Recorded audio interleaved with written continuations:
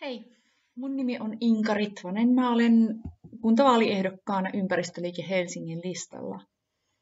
Täytyy heti ensimmäiseksi mainita myös, että takana oleva taulu on ystäväni taiteilija Hanna Seppälän maalaama. Eli mä haluaisin kertoa tässä puheenvuorossa omia ajatuksiani, toki perustuen muiden ajatuksiin seison jättiläisten harteilla, niin omia ajatuksina siitä, millaista yhteiskuntaa Suomen tulisi minun mielestä tavoitella ja millä keinoin ja miten tämä liittyy kunnallispolitiikkaan.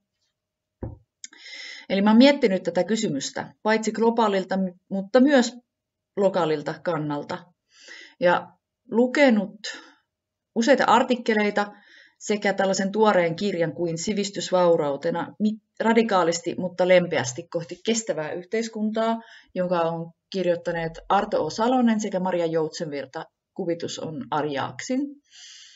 Ja muitakin artikkeleita mä mainitsen ne sitten tuossa lopussa. Mutta tässä on tosi laajasti tätä Salosen ja Joutsenvirran kirjaa. Eli monet ilmaisut on heiltä peräisin, monet toki myös omiani. No, ajatteluhan lähtee siitä, että väitän, että jälkikapitalistinen materialismi on kerta kaikkiaan tullut tiensä päähän. Vaikka ö, talouskasvu on kiistatta tuonut ihmiskunnalle suunnattomasti hyvä, niin fakta on nyt, että se on viemässä meitä kiihtyvällä vauhdilla kohti ekologista katastrofia, monitahosta ekologista katastrofia. Muun muassa BIOS-yksikön raportti Ekologinen jälleenrakennus luettelee näitä kriisejä melko kaunistelematta. Se tarjoaa myös ohjelman niiden ratkaisemiseksi. Kannattaa lukea se Bioksen raportti, se on helppolukuinen. No sivuoireinan talouskasvu vielä luo nykyään enemmän henkistä, fyysistä ja sosiaalista pahoin kuin hyvinvointia, koska se lisää varallisuuseroja erilaisia sairauksia, syrjäytymistä ja lukemattomia muita ongelmia. Ja lisäksi se on vielä kompastumassa oman mahdottomuutensa hyvin todennäköisesti tapahtuvan inflaation myötä. Meidän yhteiskunta siis aiheuttaa toisaalta toisten ihmisten entistä kovempaa työntekoa ja kiireisempää elämänrytmiä, kun taas kaikille ei tule koskaan riittämään kokopäiväistä palkkatyötä. Palkkatyötä tekevistä yhä harvempi tutkimusten mukaan kokee työnsä merkitykselliseksi, mikä heikentää elämänlaatua. Sitten syrjäytyminen taas käy yhteiskunnalle yhä kalliimmaksi. Yhden syrjäytyneen kustannus on noin miljoona euroa. Eli sekä työssä käyvien että yhteiskunnasta syrjäytyneiden tai syrjäytettyjen pahoinvointi lisääntyy. Kuten Osmo Soinivaarakin on todennut, me maksamme vaurastumisesta liian kovaa hintaa. Tämän jälkikapitalistisen materialismin myötä tapahtunut ihmisen ajan arvottaminen rahassa on siis tuottanut suorituspainotteisen yhteiskunnan, jossa stressi lisääntyy. Yhteiskunnan oravan pyörässä juoksevat lepäävät liian vähän ja he kokevat jatkuvasti, ettei heillä ole tarpeeksi aikaa asioille, jotka lisäävät heidän hyvinvointiaan. Ja myös tilanteet ja tilaisuudet tutustua omaan itseen ja toisiin ihmisiin vähenevät, kun kaikilla on vain välinearvo. Näin meidän yhteiskunnassa jää huomattava osa inhimillisestä elämänvoimasta ja potentiaalista tavoittamatta. Ihmiselämän kokemusmaailma surkastuu kokonaisvaltaisesti. Nykyinen edistysajattelu, jokahan tähän on siis johtanut, on luonteeltaan sellaista, että se saa aika järjestelmällistä tietämättömyyttä, välinpitämättömyyttä ja sokeutta elämän tärkeimmille asioille. Me aiheutamme järjestelmällisesti kärsimystä oman näkökentän ulkopuolella oleville ihmisille ja eläimille. Maapallon elollisten olentojen keskinäisriippuvuus on lisääntynyt, mutta samalla tietoisuus siitä on vähentynyt. Kiire, tyytymättömyys, irrallisuus ja merkityskato synnyttää pahoinvointia. Vaurautta tavoitellessaan ihmiset käyttävät yhä enemmän aikaa sellaiseen, joka vähentää heidän onnellisuuttaan, kuten vaikka istuvat liikenneruuhkissa. Tämä modernisoituminen on myös vahvistanut sirpaleista tietoa, joka pelkistää asioita hallittavan kokoisiksi, ja se irrottaa, myös tarkasteltavat asiat yhteyksistään. Tämmöinen mekanistinen maailmankäsitys ylläpitää luontokulttuurin dikotomiaa ja sillä lailla vaillinaista todellisuuskäsitystä. Tästä Tere Vadeen filosofi on kirjoittanut erittäin hienosti. Hän sanoi, että länsimaiselta elämänmuodolta, eli meiltä, ei puutu ainoastaan pientä osaa tiedosta, vaan kokonainen tiedon laji, syntytieto. Ja tässä syntytiedossa Vadenin mukaan yhdistyvät elämän edellytysten tunnistaminen ja ihmisten henkinen itsenäistyminen tekoina ja elämänä. Eli syntytieto ei ole yksinkertaistavissa, ilmaistavissa, vaan niin kuin yksinkertaisilla väitelauseilla, vaan sitä pitää ilmentää elämässä. Tämä uusi todellisuuskäsitys siis auttaisi meitä muuttamaan tämmöistä pirstaleisuutta eheydeksi ja edistäisi niin sanottua yhteisälyä, systeemikyvykkyyttä ja kokonaisvaltaisempaa ja kollektiivista viisautta. Eli lähtökohta on siis, että ongelmia ei voida ratkaista teknistaloudellisella ajattelulla, vaan on puututtava juurisyihin. Ja varmaa on, että jos me ei toimita nyt heti, niin myöhemmin on odotettavissa todella vakavia ongelmia. Nyt jos tämä uusi edistyskertomus, johon nyt tällä puheenvuorolla haastan, vaatiikin joilta, meiltä jotain uhrauksia nyt, niin ne ei, tule, ne ei ole mitään siihen verrattuna, mitä me jouduttaisiin uhraamaan, jos jatketaan kuten ennenkin. Mä mainitsinkin tässä jotain sana uusi edistyskertomus. Eli tämä on se nimi, jolla Arto Salonen ja Maria Joutsenvirta kuvaa tämmöistä uudenlaista yhteiskuntaa ja ihmis- ja maailmankäsitystä.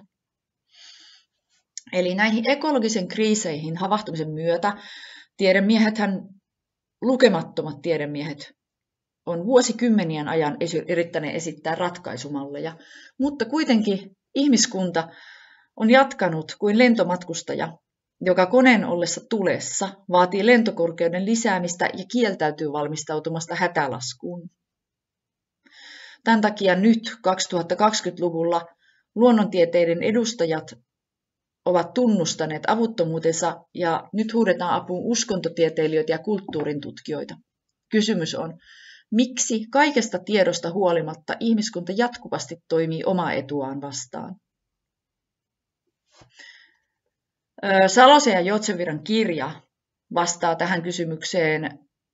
Se kokoaa yhteen talouspoliittista, luonnontieteellistä, filosofista, antropologista ja kulttuuritutkimuksellista tietoa.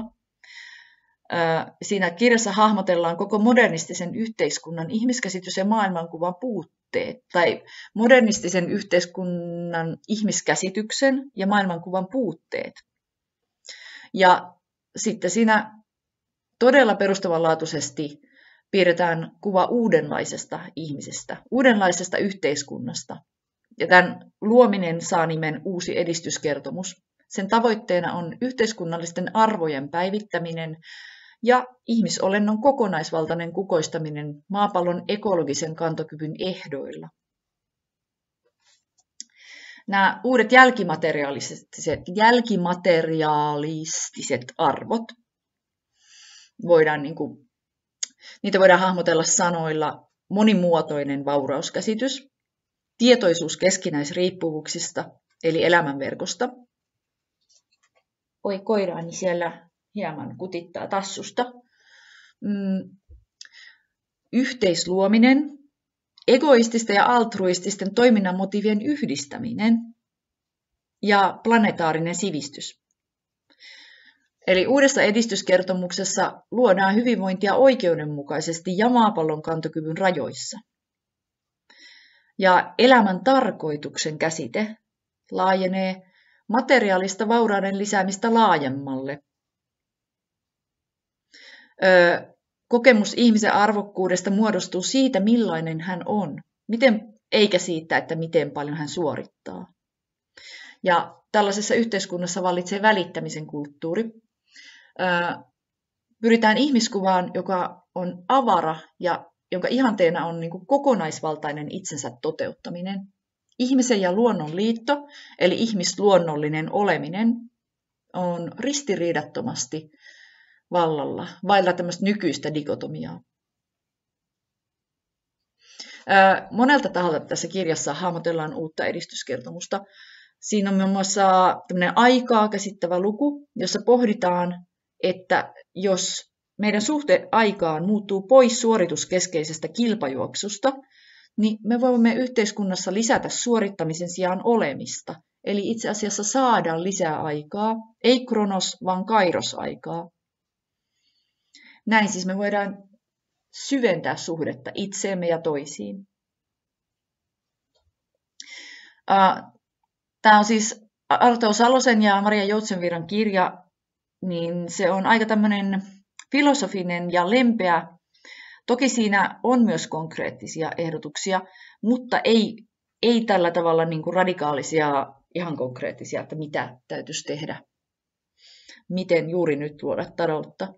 Mutta sen sijaan sitten tämmöiset henkilöt kuin Toni Ruuska ja Pari Hei, Pasi Heikkurinen on kirjoittaneet muun muassa artikkelin Kohti syvän vihreää ilmastoagendaa, jossa he kritisoi, ei suoraan tätä Salosen kirjaa, koska heidän artikkelinsa on vanhempi, mutta he kritisoivat tätä BIOS-yksikön raporttia ja sitten vihreiden vasemmistopuolueen tai itse asiassa kaikkien, lähes kaikkien valtapuolueiden nykyistä politiikkaa. Se nykyisen politiikan niin kuin ilmastoagendan lähtökohtia ja suuntaa. Ja tämä kritiikki kuuluu näin, että punavihreän ilmastoagendan perusongelma on, että se on selkeästi talouskasvuhakuinen. Se perustuu oletukseen, että ilmastonmuutos ratkaistaan uuden teknologian avulla ja että Suomi voi tässä kuulua jopa taloudellisten hyötyjien joukkoon. Juliet Skor on tiivistänyt tällaisen hengen niin, että Siinä taloudellisten intressien takia ilmastonmuutosta ei, ei edes pidä ehkäistä liian aikaisin. Ruska ja Heikkurinen jatkavat. Vihreiden katsantokannan mukaan valtava määrä uutta teknologiaa johtaisi jollain mystisellä tavalla kestävämpään yhteiskuntaan. Kun kuitenkin sitten uusiutuvan energiateknologian rakentaminen ja käyttö niin lisäisi aina luonnonvarojen ja energian käyttöä. Eli yhteiskunnan ekologisen jälleenrakennuksen materiaalinen jalanjälki olisi jättimäinen, koska mm, siinä agendassa peräänkuulutetaan nykyisen teollisen fossiilijärjestelmän korvautumista uusiutuvilla. Eli koko järjestelmä vain korvataan muunlaisilla. Eli agenda toteuttamiseen tarvitaan valtavan määrä energiaa ja luonnon resursseja. Tämä tämmöinen Vaihtoehtoinen politiikka sekä erilaiset tuet ja kannustimet ovat etupäässä keinoja puuttua tuotannon ja kulutuksen laatuun, mutta eivät sen kokonaismäärään. Heikkurisen ja Ruskan mukaan rahan lisäämiseen liittyy keskeisesti ristiriita suhteessa luonnonvarojen kulutukseen. On empiirisesti perusteetonta olettaa, että rahan lisääminen kiertoon ei johtaisi lisääntyvään tuotantoon ja kulutukseen. Kun ohjelman tavoitteena on tuottaa lisää vaurautta ja kasvattaa elintasoa, niin se ei tue siirtymää kestävään yhteiskuntaan. Eli kritiikki kohdistuu niin näiden ratkaisumallien perustumiseen edelleen talouskasvun ideaan. Heikkurisen Ruskan mukaan oletus siitä, että kriisin ratkaiseminen vaatii laajan rahoituspohjan ja vielä oletus, nykytek- oletus niin kuin teknologiakehityksen mahdollisuuksista ja hyödyistä ovat molemmat kestämättömiä ja epärealistisia. Ekologista kriisiä ei nähdä, koeta eikä kohdata tarvittavalla vakavuudella, eikä pohdita realistisesti, kuinka todella varautua ja valmistautua ilmastokatastrofin varalta. Heikkurisen ja Ruskan mukaan olisi uskottavampaa esittää, että nyt nostamalla korkoja ja korottamalla yleistä hintatasoa esim. verotuksen kautta valtio voisi leikata kulutusta ja tuotantoa nopeallakin aikavälillä ja silti turvata ihmisten perustarpeet. Olisi sosiaalisesti oikeudenmukaista toteuttaa tämän kaltaiset politiikkatoimet progressiivisesti niin, että eniten saastuttavat luopuisivat enemmästä. Esimerkiksi just hiiliveron ja muiden vastaavien keinojen kautta. Valtion pitäisi keskittyä sellaisen toimeliaisuuden tukemiseen, mikä vahvistaa kestävää tulevaisuutta, joko taloudellisesti tai vahvistamalla myös rahasta riippumatonta aktiivisuutta. Periaatteena tulee olla, että hyvä tulevaisuutta rakentavien asioiden tulee olla halpoja ja saavutettavuuden helppoa. Syväekologisessa suunnitelmassa teknologiaa siis tarvitaan edelleen, mutta se on vain väline. Sen ja tai kaiken toimeliaisuuden suhteen täytyy miettiä, että miten sitä teknologiaa käytetään. ja millaista toimeliaisuutta tuetaan.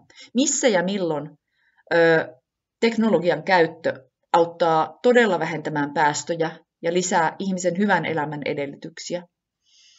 Tästä teknologian itsearvoistumisesta on vaikka semmoinen esimerkki, että nykyisin kaupunkien liikenneruuhkissa liikutaan eteenpäin samalla nopeudella kuin aikanaan liikuttiin hevosilla.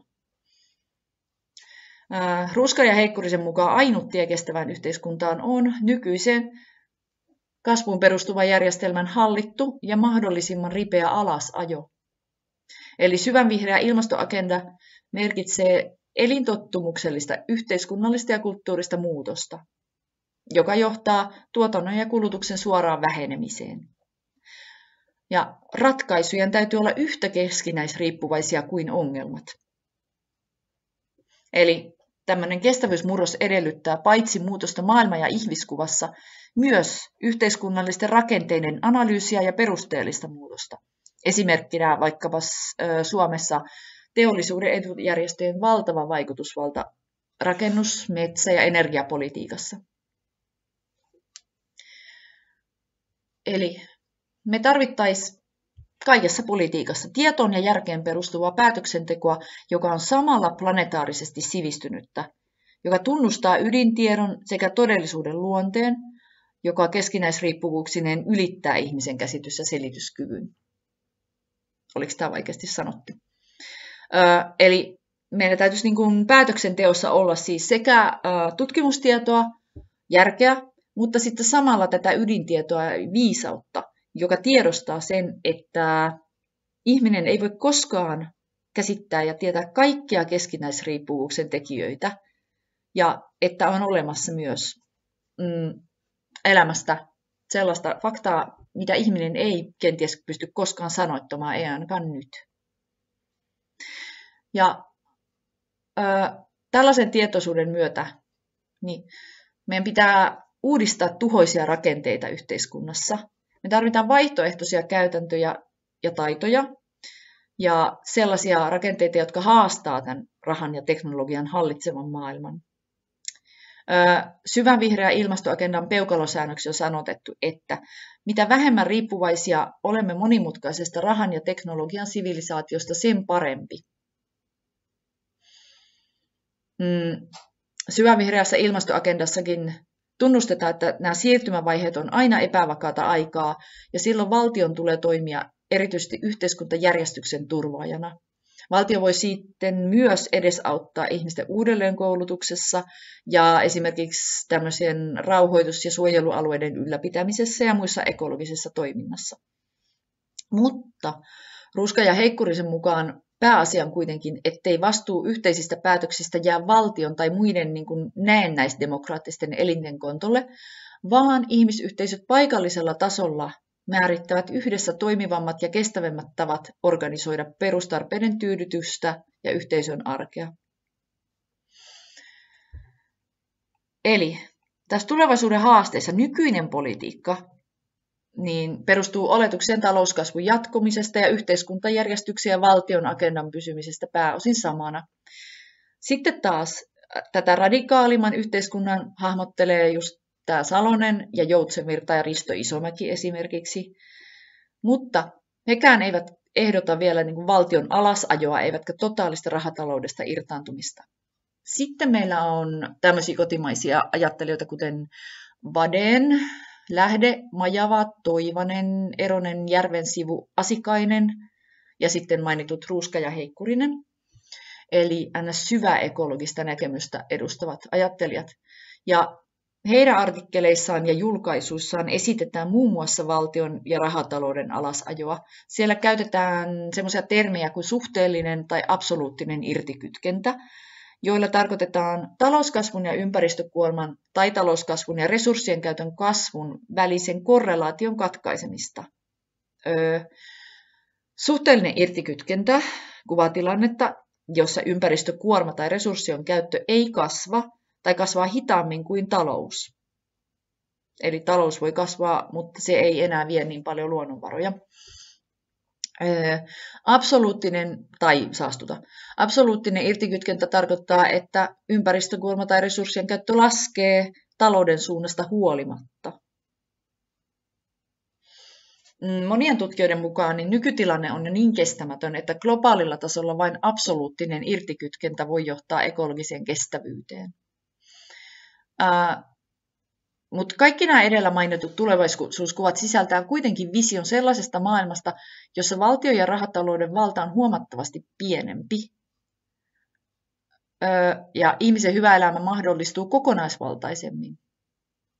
kaikilla tarkoitan, siis en tarkoita nykypolitiikkaa, vaan tarkoitan tätä joko lempeämpää tai sitten syväekologisempaa suun näkemystä.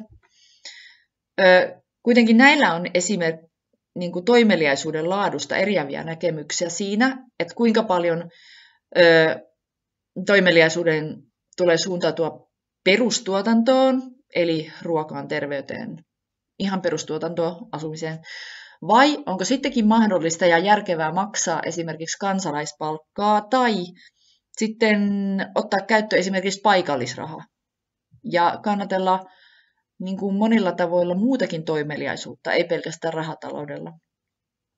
Mutta tästä on tosiaan eriäviä näkemyksiä, että ihan tämmöinen omavaraisajattelu, syvä ekologia, niin korostaa just tämmöistä aivan tämmöistä perustuotantoa ja sitten sellaista ekstraa ja luksusta, johon niin kuin perustuotantoa harrastavat ihmiset ö, suostuu antamaan resursseja. Tarkoittaa ihan käytännössä vaikka sitä, että jos jonkun huilun soittaminen on viljelijöiden mielestä niin arvokasta, että he haluaa viljellä, vaikka toinen soittaisi huilua eikä osallistus viljelyyn, niin silloin se on mahdollistettu.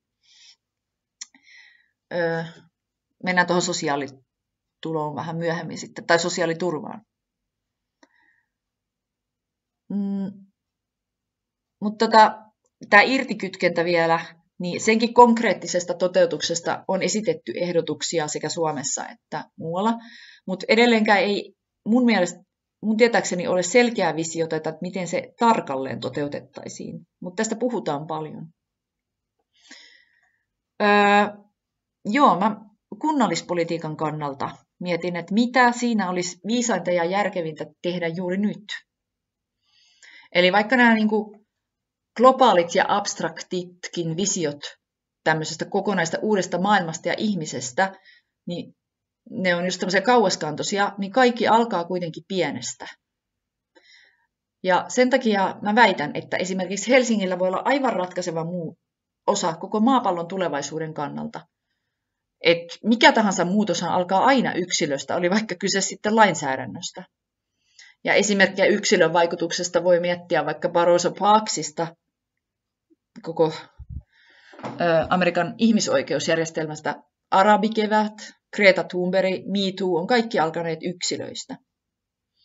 Ja kun Helsinki on niin kuin monessa asiassa arvioitu yhdeksi maailman parhaimmista kaupungeista, niin se mitä Helsingissä tapahtuu voi aikaansaada muutoksen monessa muussa paikassa. Ihan jo pelkästään esimerkin kautta mutta myös talouden kautta, koska Helsinki on tosi merkittävä taloudellinen toimija ja sen hankinnat voi ohjata tuotantoa tosi paljon.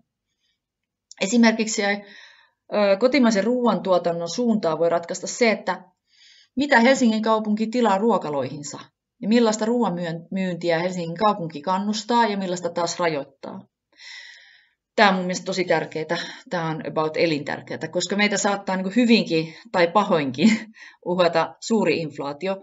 Ja tähän on hyvä varautua tai olisi niin välttämätöntä varautua erityisesti panostamalla kotimaiseen ruoantuotantoon.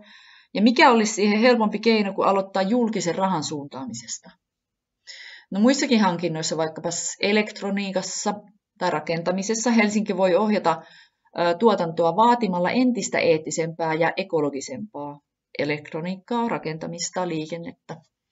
Kaiken materiaalisen perustana tulisi olla kiertotalous syväekologisesti ymmärrettynä. Helsingin tai minkä tahansa kunnan hankintoihin liittyy myös niitä ohjaava aikaperspektiivi, joka on tällä hetkellä hemmetin lyhyt. Eli tällä hetkellä Suomessa ja Helsingissä on voimassa sääntö kilpailutuksesta, jolla pyritään säästämään varoja juuri tämän hetken hankinnoissa. Kuitenkin kokemus, kokemus on, että todella usein säästetty sentti tänään tarkoittaa tuhlattua tonnia huomenna. Aikaa ja rahaa säästämään pyrkivä kilpailutus tuottaa usein paitsi huonoa laatua, myös valtavaa resurssien tuhlaamista, kun työntekijät joutuvat tekemään työtä yhä huonommissa olosuhteissa, pienemmällä ajalla, huonommilla välineillä, huonommissa tiloissa, ja näin käyttämään energiansa aivan muuhun kuin varsinaiseen työhön. Lisäksi vielä tämä teknologistuminen on aiheuttanut sen, että monet aivan muun alan ammattilaiset tekee valtavasti sihteerien töitä, lääkärit, opettajat. Samaan aikaan on valtavasti ihmisiä työttöminä, jotka voisi tehdä tämän, mutta tämä johtuu kilpailutuksesta tästä hankintalaista. Mutta tästä seuraavat kustannukset on hyvin usein suuremmat kuin siitä hankitut säästöt. Ja jos politiikassa vaan käytettäisiin kvantitatiivisten mittarien sijaan kvalitatiivisia mittareita, eli ei laskettaisi, että kuinka monta lasta voidaan ahtaa päiväkotiryhmään, vaan kuinka laadukasta voi olla päiväkoti lapsen päivä. Niin esimerkiksi just vaikka tai hoitotyössä, niin mitattaisikin laatua ja suunnattaisiin entistä enemmän aikaa yhteen kohtaamiseen ja sen kohtaamisen laatuun, niin tuloksena voisi olla monelta kannalta sekä onnellisuutta lisäävää että kaikin puolin kannattavampaa hoitoa tai kasvatusta. Tätä on tutkittu ja tämä on niin kuin todettu, todeksi todettu. Joo. Ää, Eli voidaan miettiä, että tämä uusi edistyskertomus, niin se kyllä uhkaa tämmöistä kolmiyhteyttä, tuotanto, kulutus, hyvinvointi, jotka mukamas liittyy yhteen. Mutta kun me tiedostetaan, että talouskasvu välttämättömyys on vain myytti, se ei ole totta tämä kolmiyhteys, niin me voidaan luoda toisenlaisempia, parempia hyvinvointiinstituutioita. Esimerkiksi ää, taloustieteilijä Mariaatna Matsukaatto niin on sanonut, että sellaistakin toimintaa, jossa on enemmän kyse arvon ulosmittaamisesta, kutsutaan kuitenkin arvon luomiseksi. Esimerkkinä vaikkapa iso osa länsimäisen terveydenhuollon kustannuksista, niin se ei johdu terveydenhoidosta, vaan lääketeollisuuden aiheuttamasta arvon ulosmittauksesta. Eli jos niin kunnassa kuin muualla kaikkeen päätöksentekoon otetaan ensisijaiseksi tavoitteeksi pitää yllä tietoa ja tietoisuutta eettisistä ja ekologisista reunaehdoista, niin me voidaan muuttaa maailmaa valtavasti. Ja voidaan myös katsoa itseämme rehellisesti sanoen, että ainakin yritämme parhaamme todella, emmekä vain pintapuolisesti. Kunta voi ohjata esimerkiksi kasvatusta ja koulutusta uudenlaiseen kansalaisuuteen ohjaamisen kasvattamisella, jota kyllä ilahduttavan paljon tapahtuukin, mutta tässä tarvittaisiin vielä semmoinen niin perustavanlaatuinen näkemysmuutos. Ö, eli kunta voi kouluttaa asiantuntijoita ja tukea sitä, että nämä pääsee jalkautumaan laitoksiin ja että mm, ammattilaisilla on todellakin tietoa tästä asiasta ja tukea, kunta voi tukea hankkeita ja projekteja, mutta tässä tarvitaan semmoista todellista kriittistä otetta, ei tämmöistä näennäishyvyyttä. Projekteja, jotka on paperilla tai jonkun egon tai jonkun muun takia näennäisesti hyvää tuottavia, mutta joilla ei ole todellisia positiivisia vaikutuksia. Että tavoitteena tulisi olla todellisen merkityksellisyyden kokemuksen kasvattaminen. Tämä nykyinen materialistinen elämäntyyli johtuu suureksi osaksi ihmisten turvallisuuden tarpeesta. Ja tähän turvallisuuden tarpeeseen lääkkeenä olisivat niin kuin, ö, epävarmuuden ja erilaisuuden sietokyvyn kasvaminen, eli se on eri asia kuin turvattomuus. Tai tarkemmin sanottuna epävarmuuden ja erilaisuuden hyväksyminen ja lisäksi osallisuuden ja välittämisen kulttuurin lisääntyminen. Tähän uuteen koulutuksen suuntaan niin on, sitä luonnehditaan sellaisilla termeillä kuin sosiaalisempi pedagogiikka, transformatiivinen oppiminen, yhteisoppiminen ja systeeminen yhteiskehittäminen, ylisukupolvisuus ja uudet kansalaistaidot, kuten vuorovaikutus, ongelmanratkaisu ja tunnetaidot. Taidekasvatus, ja planetaalisen tietoisuuden, ekososiaalisen sivistyksen ja omavaraisuuden sisäistäminen ja eläminen. Esimerkkinä tämän suuntaisesta on vaikkapa Yhdysvalloissa, useimmissa Yhdysvaltojen high on tämmöinen kansa, pakollinen kansalaisaktiivisuuden kurssi, jossa tehdään useamman kuukauden jakso töitä jossain yleishyödyllisessä järjestössä tai laitoksessa. Ja tämä on organisoitua, valvottua.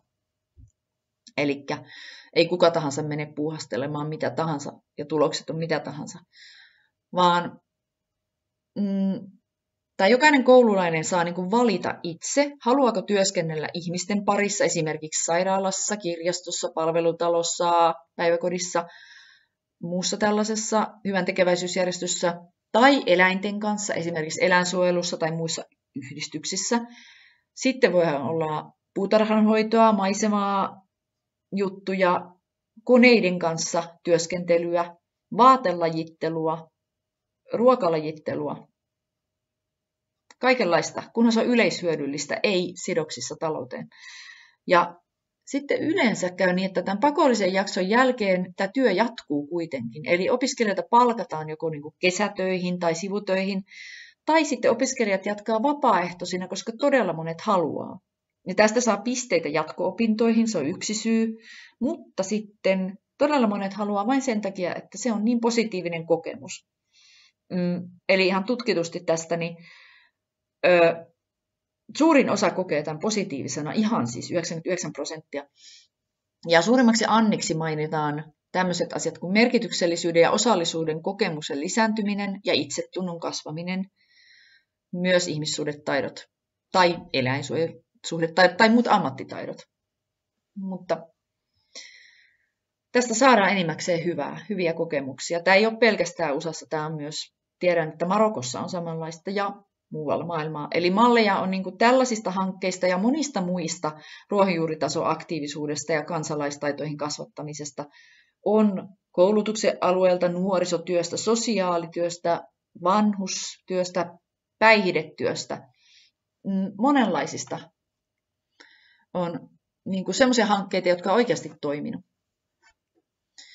Sitten miten kunta voisi vaikuttaa kestävämmän yhteiskunnan luomisessa on myös, että voi tukea tutkimusta ja tärkeänä uudistaa hallintoa niin, että hallintoa suunnataan vain todellisiin tarpeisiin. Eli purkaa turhaa byrokratiaa ja hajottaa vallan ja auktoriteetin yhteyttä mahdollisimman paljon.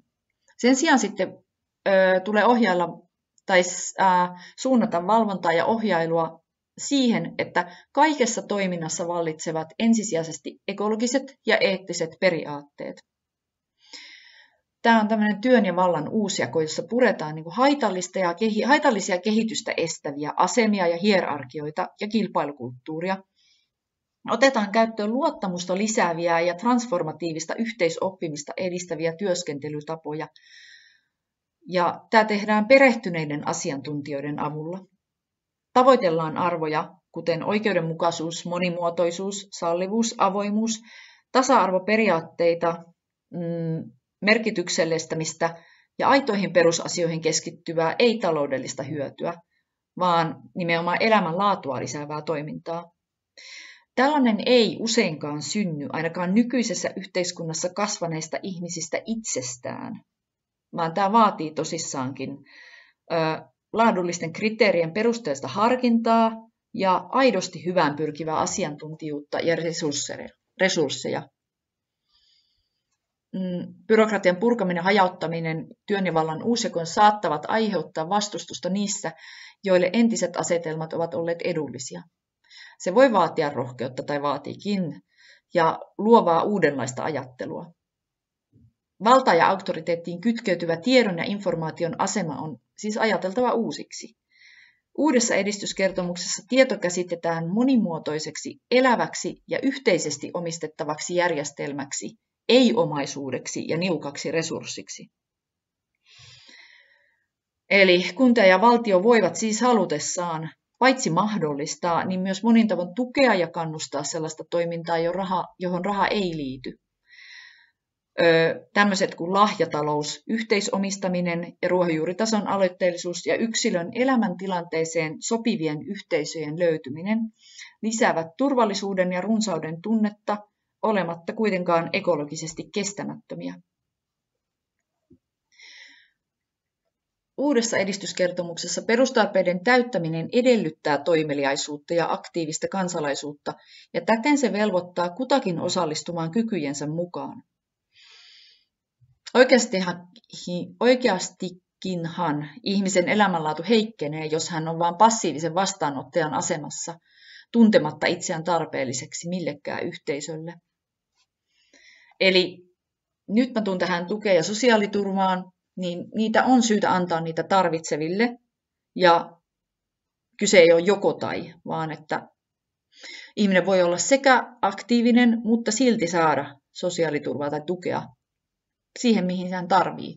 Mutta sitten taas, jos ihminen ottaa näitä tukia vailla todellista tarvetta, niin hän sekä syötä järjestelmän uskottavuutta ja vie tuen sitä enemmän tarvitsevilta, että vähentää oman elämänsä laatua. Uusi edistyskertomus siis tarkoittaa, että me karsimme toimeliaisuuttamme ja omistajuuttamme materiaalisen kuluttamisen suhteen, mutta uudessa yhteiskunnan mallissa pidetään huolta niin jokaisen yksilön perustarpeista kuin heidän kokonaisvaltaisemmasta hyvinvoinnistaan paljon paremmin ja aidommin kuin tässä nykyisessä. Monimuotoisuuden ja syvällisen ihmiskuvan hyväksyminen tuottaa yhteiskuntaa, jossa jokainen löytää paikkansa helpommin ja kokee vapautta ei kuluttamisen, vaan ihmisen, ihmisenä olemisen suhteen. Näin väitän. Uh, mulla on siis, mä luettelen nyt tässä vähän, että mitä mä olen lukenut tähän ajatteluun pohjaksi, jos muistan edes kaikkea. Mä oon tota Sitraa tutkinut. Sitra on hienoa työtä tehnyt. Meillä on muun muassa tämmöinen kuin, artikkeli kuin Viheliäiset ongelmat, systeemiajattelu. Sitten tietenkin oli tämä Ekobioksen raportti. Sitten tämä artikkeli kohti syvävihreää ilmastoagendaa. Sitten on tämmöinen artikkeli, jonka tekijät mainitsin tuossa. Sen artikkelin nimi on Onnistunut irtikytkentä Suomessa. Kirjoittajat Terevadeen, Ville Lähde, Antti Majava, Tero Toivanen, Jussi T. Eronen ja Paavo Järvensivu. näistä sitten Terevadeen ja Antti Salminen on kirjoittaneet myös tällaisen kuin Energia ja kokemus. Sitten mä oon lukenut äh, Alan B. Krugerista, hänellä on tämä U-indeksi siitä, että millainen toiminta lisää tai äh, vähentää hyvinvointia, mutta jota ihmiset tekee entistä enemmän materiaalisen vaurauden takia. Donella Meadows on kirjoittanut syntymävuotena 1972 tämän kasvurajat raportti, joka oli Rooman klubille tarkoitettu. Aivan toista asiaa edustaa Marshall Rosenberg. Hän on luonut NVC eli Nonviolent Communicationin. Sitten Suomessa on Okka-säätiö ja Erätauko-säätiö, jotka tekee myös hyvää työtä osaltaan. Sitten tulee vielä tämmöinen name-droppailu. Mm, ei ole missään järjestyksessä, mutta erittäin kunnioitettavia ajattelijoita ja tutustumisen arvoisia ovat Guy Standing, Martin Buber, Douglas Rashkoff, tietenkin Yuval Noah Harari, Peter Senge, miten lausutaan, Nora Bateson, Elisa Aaltola, Andy Fisher, Eetu Vireen, Rosi, Pre- Rosi Praidotti, Lasse Nordlund, Otto Scharmer, Francisco Varela, Henrikka Ylirisku, Frank Martela, Marina Gorbis, Juliet Skor, Laura Gustafsson, Terike Haapoja, Mihail Csikszent-Mihail, Pertti Antonen, Daniel Kahneman, David Halpern ja Marianna Matsukato.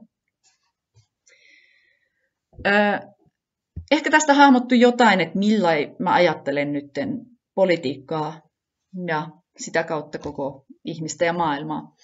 Näytän vielä koirat täältä lattialta. Ei kun anteeksi, patjallahan ne makaa siellä. Kiitos tosi paljon. Aion myös ö, laittaa tämän tekstin kirjoitetussa muodossa, koska tämä saattaa olla sen verran vaikeaa tajusta, että on hyvä tekstistä tarkistaa, että mitä ihmettä se Ritvanen sanoikaan oikeastaan. Ja mm, yritän myös laittaa näitä lähteitä linkkeinä, ainakin osan. Osat artikkeleista löytyy ihan netistä. Kiitos ja kuulemiin.